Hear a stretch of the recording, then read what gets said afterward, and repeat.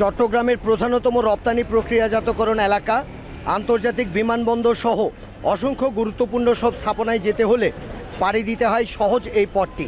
অথচ সড়ক জুড়েই কাঁচা বাজারের পাইকারি আড়ত হাক ডাকের তটস্থ হতে হয় সবাইকে।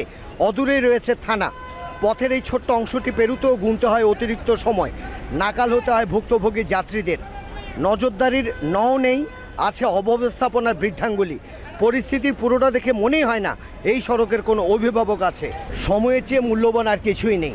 আমরা চাই এমন অব্যবস্থাপনার নিরসন হোক। কারণ এই যে সড়ক জুড়ে কাঁচা বাজার, এই কাঁচা বাজার এইখানে থাকার কথা নয়। এমনটা আমি মনে করি, আমরা মনে করি।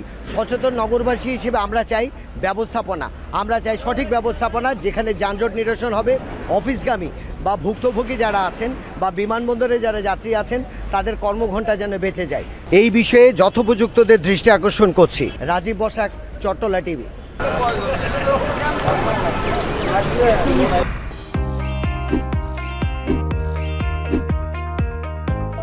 চট্টলা টিভি।